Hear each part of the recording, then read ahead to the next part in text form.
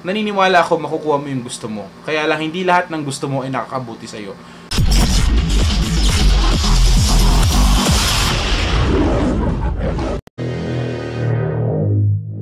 Kumusta guys? This is Coach Vinci, another response video or commentary na naman. So pag-usapan natin yung katatapos lang na K-drama, which ito na siguro ang pinakamagandang K-drama na napanood ko. Pwede mo i-consider na recency bias to.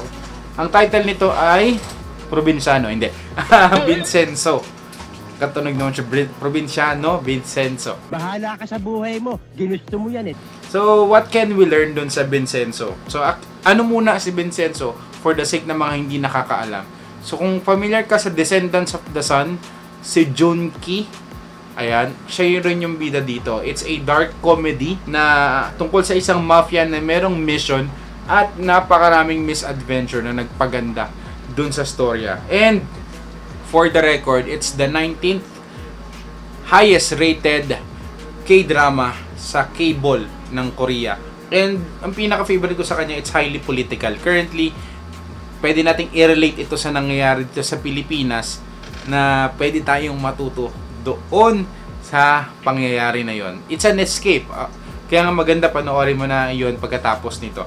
So, I will share five things na pwede nating matutunan dun sa palabas. Number one is you should have a goal. Nung nag-uumpisa yung palabas, ay merong goal yung bida. Yon ay kunin, pwede ko ba sabihin yun? Spoiler. advance ako mag-isip. May kukunin siya dun sa isang building na yon. At yun yung main reason niya. Dun umikot yung story. Pero prior to that, ay isa siyang corn, corn salad.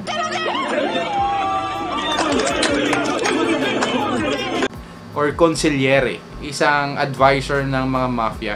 Inayos niya muna yung family problem and to escape that, ay pumunta siya sa isang lugar sa Korea para doon ituloy yung mission niya. So ano pwede natin matutunan as a person, as a normal being, we should set a goal. Hindi tayo pwede dapat mabuhay sa mundo na hindi natin alam kung anong gusto natin. At kung ano yung goal na yan, it should be deeply, highly specific. Sobrang specific dapat. Kung gusto mo sasakyan, anong brand, anong model, kailan mo siya dapat makuha. So, ganun yung strategy ni Vincenzo. Alam niya kung kailan niya kukunin. So, kung, may, kung hindi niya makuha, pa-adjust ng pa-adjust. Pero, ang favorite ko sa kanya ay yung pagiging goal-getter niya. Pati yung mga side quest niya, ang gagaling din. May mission talaga. Sa isa man na mission. So, if you're to ask ano ang mission mo sa mundo na ito. Pangalawa ay leadership. Pinakita doon yung pagiging leader niya. Kasi magkakaiba ah, tayo eh. Ayaw natin ng plastic, di ba? Gusto natin yung matibay. So, leader. Matibay ang leader. Baka siyansihin ko yung gilagid mo dyan. yan, maging leader tayo. Yung leadership skills niya ay by default, hindi niya inimpose kundi yung tao yung sumunod sa kanya. That's one of the highest forms of leadership for me if yung mga tao ay mas pinipili kang sundan without imposing them or saying na ako pa, i-follow niya ako. Yung mga tao talaga sinunod siya because of his mission. Kaya nga, sabi ko, kagandahan meron kang goal. Maraming susunod sa iyo. Kaya nga gusto nating mag-follow ng mga taong successful because meron silang goal. We want to be like them. So, leadership skills niya, ang galing. At yung ginawa niyang strategy na pwede niyong matutunan natin sa kanya ay yung sa team mo, kailangan it's either you train them, you swap them, or remove them. Kung meron ka sa team mo, if you're handling some some people, ay it's either you train them, pag hindi sila gumaling, swap them. Not because they're not performing well, ay hindi sila magaling.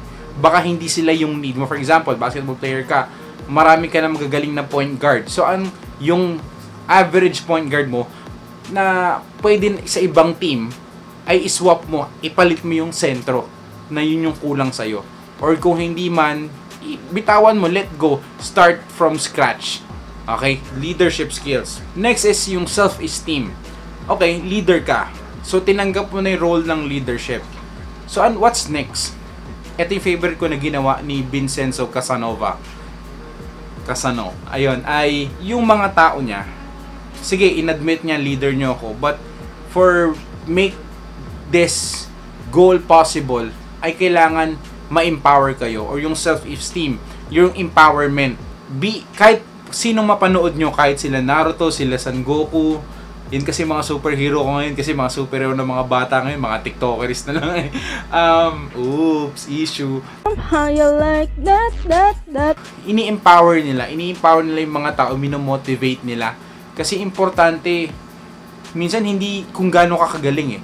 Naniniwala ka ba na magaling ka? Kasi kahit gaano ka, kahit gaano ka ka-skilled, bumagsak yung confidence mo, ay hindi ka makapag-perform ng maayos. Parang sa pagkanta, nanonood din ako ng training ng kanta. Pag alam mo sa isip mo na pipiyok ka, wala kang confidence, ah, hindi mo may hit yung nota. Kahit pinractice mo siya ng 10 years, tapos 9 years old ka lang, hitas pa lang kumakanta ka na, hindi mo may hit yung nota. Pipiyok ka, papaltos ka, mamali ka. Parang sa crucial shot, di ba? Kahit ilang beses mong nag-practice na itong mid-range jumper mo, masushoot mo siya.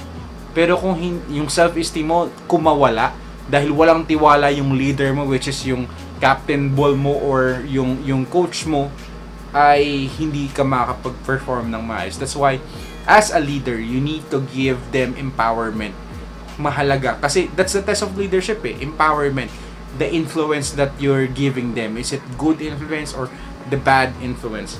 Next natin, active patience. Okay, more of personal na to. Na if you could see, yan, may, hindi pala kita, may leon dito. If, if there's anything na spirit animal ba yung tawag dun, I would say leon.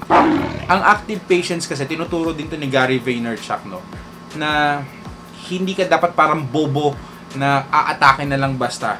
You, you hunt like a lion. You're waiting for your turn and with that turn, you give everything.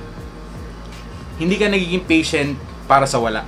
At habang nagiging patient ka, for example, may hin- may gusto kang babae, nililigawan mo. Yes, hindi para siya pwedeng mag-boyfriend hanggat hindi pa siya nakakagraduate. Pero pag ganun yung sinabi niya sa'yo, tanungin mo siya, ah, what if si Daniel Padilla or si Junki yung manligaw sa'yo, sasagutin mo ba? Pag sinabing oo, hindi ka nun type. Hindi, hindi, hindi issue yung time, no? So, yung active patience, yung syempre gusto niyo pareho pero sabi kailangan mo nang gumraduate. Wag lang sana na hintayin mo siyang makagraduate. Enhance yourself, grow yourself, build mo yung dreams mo, build mo yung sarili mo para by that time na dumating yon you are so ready. Ganon ang active patience. Parang pag umuulan, 'di ba? Ang pag ang bagyo kasi hindi sinusolusyonan ang bagyo pag bagyo na. Summer pa lang tinatakpan mo na yung butas. Bumibili ka na ng kapote, bumibili ka na ng payong, nag stock ka na sa grocery, nag stock ka na ng groceries mo. Ganon ang active patience. Kasi akala natin ang patience ay paghihintay. No. That's waiting. Pero yung patience, that's be waiting while doing something. And dagdagan pa natin active patience. And next natin ay yung greed. Iba-iba tayo ng greed. Pinakita doon na yung greed ng mga tao destroys them. Nakakasira ang greed. Again, iba-iba tayo ng level ng greed. May greed 1, greed 2, greed 3. Sorry na, dali na, sorry na. God bless. Na. Ngayon nga, grade 12 na eh. Kaya mas matindi yung mga grade ngayon eh. Property ng tao doon ay yung ah, kalaban nila. Ang tawag doon ay Babel. Babel Corporation. At ang ganda ng implication nun sa buhay natin na biblically speaking, yung story ni Babel ay bumagsak because sa greed ng tao, sa kagustuhang maging Diyos, sa kagustuhang tingalain ng maraming tao.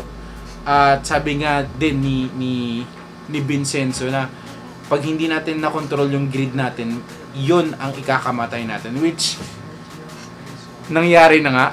so panoorin nyo kung paano siya tinapos. Ang ganda rin na naging ending because hindi siya shortcut. Yun din, babalik ako sa point how to control your greed. Balik ka sa goal mo, yung number one na pinag-usapan natin para hindi ka nabibilaukan. Parang kasing if gusto mong yumaman, it's an understatement. Ang hirap sabihin na ang mayaman kasi unang-una, wal, sa dami kong kakilalang maperang tao, may sports car, maraming business, hindi naman lum, dumalabas sa bibig nila na mayaman sila. So, it's really subjective. So, tapos yung pa nga, simple way, dagdagan, bigyan kita ng piso, yumaman ka na nun kasi nagdagdagan ka na ng pera. So, ano ba talaga yung gusto mo? Kumita ng pera, maging sikat, lagyan mo siya ng limit. Lagyan mo siya ng ng straight goal. For example, magkano ba yung money goal mo? Magka, hanggang kailan ka ba magtatrabaho? Kailan ka magre-retire? So para hindi hindi ka nasusuffocate nung mababaw mo na goal. Kasi naniniwala ako makukuha mo yung gusto mo. Kaya lang hindi lahat ng gusto mo ay nakakabuti sa'yo. So, i ngayon pa lang, habang may time ka, ilimit mo na. Kasi kung titingnan si Vincenzo, parang sobrang perfect niya. And alam ko walang ganong tao. It's, kung meron man, sana makilala natin siya. Pero walang, walang ganong kasim, seamless na tao. Parang, sobrang perfect eh. Pati paggagalaw, yung foresight niya, yung vision niya sa mga mangyayari, ang lalim at alam niya yung neurolinguistic programming ng mga tao, yung mga i-action in the future. Talagang chess match. Parang, parang Queen's Gambit siya, pero lalaki yung bida. So, again, whenever you watch K-drama or whatever, hanapin mo yung pwede mong matutunan para hindi sayang yung gustong ituro ng director at mga artista. So again, Vincenzo, hindi ko alam kung magkaka part 2 siya or season 2. But one thing is for sure, the best to. And if, if you want me to review or take lessons, kumbaga, what can we learn dun sa mga previous pa. Kasi, ang mga naging favorite ko talaga is, is Taiwan Class, yung Startup.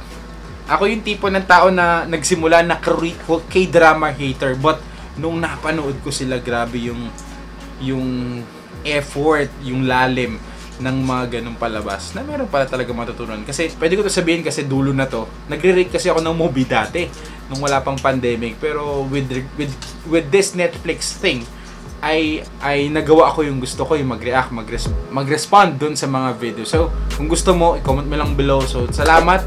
Please subscribe. Comment ka dyan ng kahit ano, basta sulat ka dyan.